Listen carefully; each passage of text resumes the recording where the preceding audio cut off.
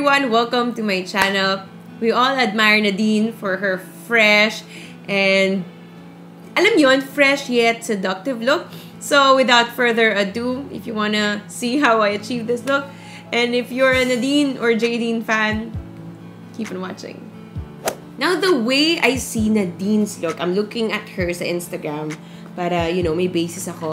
She always dons this parang everyday, very fresh lang na look. Usually, yung eyes niya, almost bare eyeliner lang talaga, and then lashes, and then blush, and most of the time then nude lipstick or parang pinkish lipstick. And then kapag may mga special occasion, dun ko nakikita na parang meron siyang red or darker lips. So I'm going to start with the primer first and I'm using this Eliger Pro Prep uh, HD High Definition and I'm just going to apply this on parts na mayroong shine. So on forehead and cheeks lang. And medyo matte yung look niya. Hindi, hindi overly glowy. And then, um, I'm using Jouer Essential High Coverage Cream Foundation. This is a matte foundation, oil-free foundation as well. And thank you, Gia. I'd like to give Gia a shout out for giving me this as a gift. Thank you, thank you so much. And I'm using this. Whether it's my shade or not, I'm going to use this. Feeling ko shade ko naman. Yeah. Uh, oh. It's perfect! Thank you, Gia. Wow, that is high coverage. And to blend everything out, I'm going to use this Beauty Blender and just pat it. At this point, I don't have to conceal much. So I'm just going to conceal and highlight at the same time using this Maybelline's Fit Me. And I'm just going to apply this on my under eye and on my forehead. For my reference as well, I'm using or I'm looking at Jelly Eugenio's Instagram page because he's Nadine, uh, he's Nadine's makeup artist. And when I'm looking at the photos, talagang medyo consistent yung, yung makeup look. After the base foundation, I'm just going to set my under eye with this Wonder 2 Selfie HD setting powder. And then on the rest of my face, I'll be using a tinted powder using uh, Gina McCrae or yung Beauty Buffet uh, powder. But then, ang gagawin ko, isaset ko muna yung under eye kasi I'll be using cream blush muna and then later on, isaset ko na lang yun with a powder blush. I just want to make sure na hindi mag-crease yung under eye. For the brows, I'm going to try out something new and I'm going to use this L'Oreal Brow Artist Designer Pro. Sadly, wala lang siyang shade name dito sa mismong product niya or meron meron code dito but I'm not sure. But this is somewhat parang grayish brown because Nadine's brows are full. So you want to make sure that you use parang um, full colored or parang darker color pagdating sa brow product. And then may pagka-brown and full pa yung brows niya. So I'm going to use this Essence The Velvets. Uh, and I'm just going to fill in the gaps and just make it extra uh, darker. We're going to do the other brow in 3, 2, 1. For the eyes, as promised, it's going to be very easy. I'm going to use nude sticks in chocolate. Tapos, maya-maya, gagamitin ko din tong A Pretty Penny ng H&M. And medyo, ito yung bronzy kind of shade. Um, Ibe-blend ko lang muna itong chocolate dito sa may outer V. And then, para may warmth yung eyes, I'm going to use Anastasia Beverly Hills. Ito yung contour kit. And I'm going to use this uh, mamaya din sa highlight. I'm going to use this shade right here. And then, yeah, apply ko siya kung saan tayo nag nude sticks chocolate. And then, medyo dito sa gitna and kind of all over the lids, gagamitin ko ng H&M eyeshadow and I'm just going to apply this on the center muna.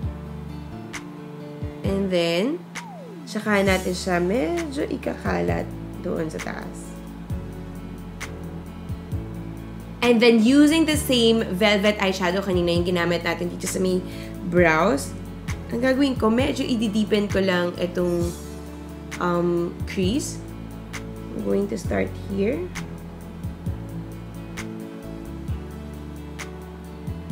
Now that tapos na tayo sa eyeshadow, punta naman tayo sa eyeliner and I'm going to use Club Clio's uh, Gel Presso in the shade it's it's color black. And maganda na gumamit na lang kayo ng pencil than gel para mas soft or para mas diffused yung eyeliner. So I'm going to somehow tightline muna. Okay, and then smudge it first. The reason why you have to smudge it right away is that this eyeliner sets very quickly. And then, once na makagawa na kayo ng regular eyeliner, ang gagawin natin medyo i- extend natin siya ng paano lang. Parang straight, hindi siya wing.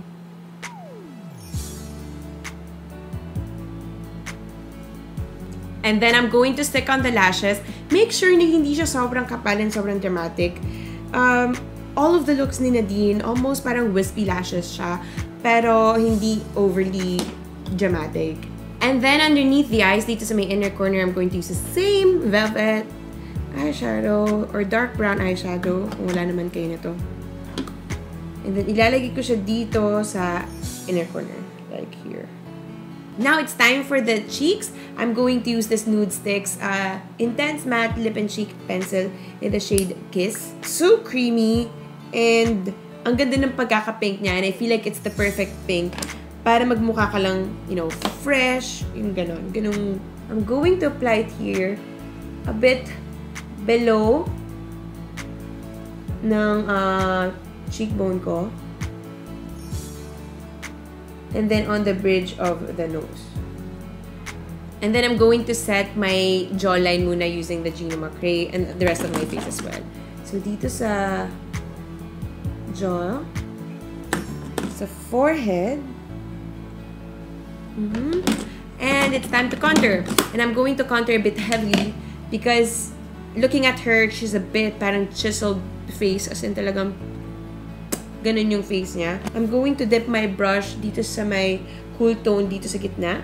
I'm going to start sa jawline ko. And then sa ilalim ng cheekbone. Just going to kind of sculpt my cheeks right there.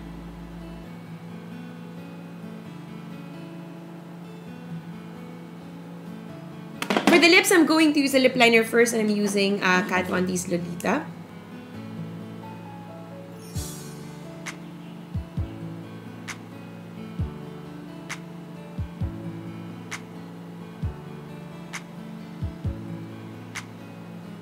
And then for my lipstick, I'm going to use my favorite nude liquid lipstick. This is Makeup Forever's Artist Liquid Matte in 301. And kapag suot ko to sa Instagram, marami nagtatanong sa inyo. So this is it. It's the 301.